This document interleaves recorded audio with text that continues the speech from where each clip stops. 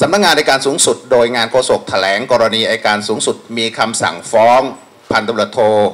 หรือนายทักษิณชินวัตรอดีตนายกรัฐมนตรี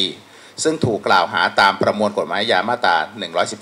112 ผมขออนุญาตไล่เรียงลำดับคดีนี้ดังนี้นะครับ คดีนี้เมื่อวันที่ 16 กุมภาพันธ์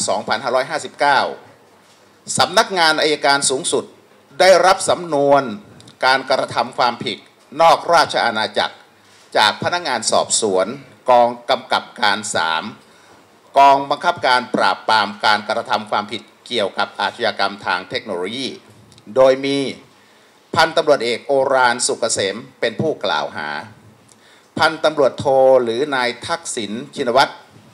เป็นผู้ต้องหา ในข้อหาร่วมกันหมิ่นประมาท ดูหมิ่น หรือแสดงความอาฆาตมาร้ายพระมหากษัตริย์ พระราชินี รัชทายาท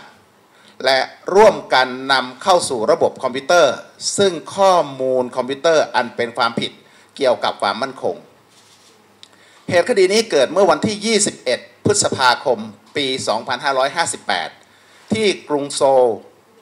สาธารณรัฐเกาหลี หรือเกาหลีใต้และประเทศไทยเกี่ยวพันกัน เนื่องจากคดีนี้เป็นความผิดซึ่งมีโทษตามกฎหมายไทย ได้กระทำลงนอกราชอาณาจักร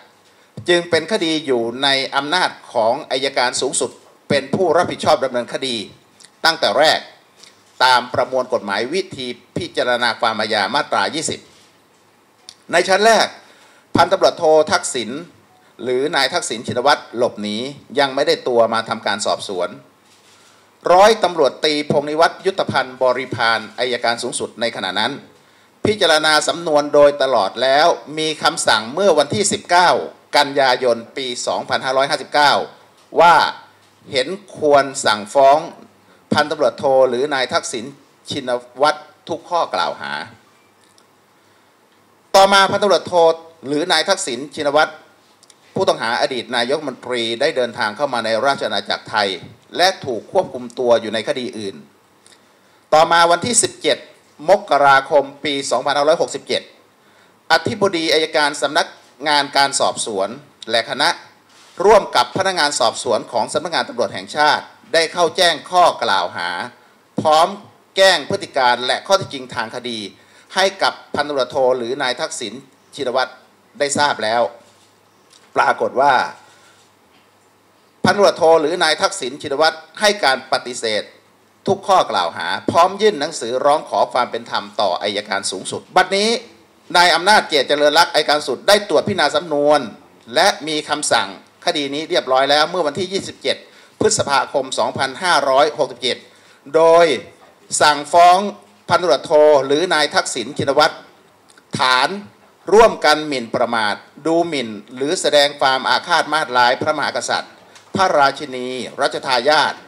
และร่วมกันนำเข้าสู่ระบบคอมพิวเตอร์ ซึ่งข้อมูลคอมพิวเตอร์ใด ๆ อันเป็นความผิดเกี่ยวกับความมั่นคง แห่งราชอาณาจักร วันนี้พนักงานอายการไม่สามารถยื่นฟ้องพันตำรวจโทหรือนายทักษิณชินวัตรต่อศาลได้ เนื่องจากพันตำรวจโทหรือนายทักษิณชินวัตรไม่ได้มาพบพนักงานในการตามกำหนดนัด โดยได้มอบอำนาจให้ทนายความมายื่นคำร้องขอเลื่อนฟังคำสั่งของพนักงานในการ ออกไปเป็นวันที่ 25 มิถุนายน 2567 เวลา9นาฬิกา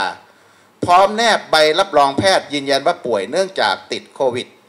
โดยแพทย์ให้หยุดพักเพื่อสังเกตอาการ 7 วันนับตั้งแต่วันที่ 28 พฤษภาคม ถึงวันที่ 3 มิถุนายน 2567 ซึ่งนายวิพุทธบุญประสาทอายการพิเศษฝ่ายคดียา 8 ในฐานะหัวหน้าพนักงานในการผู้รับผิดชอบดำเนินคดีโดยได้รับมอบหมายจากท่านในการสูงสุด ให้เป็นผู้รับผิดชอบคดีนี้ พิจารณาคำร้องที่ผู้รับมอบอำนาจของพันตำรวจโทหรือนายทักษิณชินวัตรนำมายื่นแล้ว เห็นว่า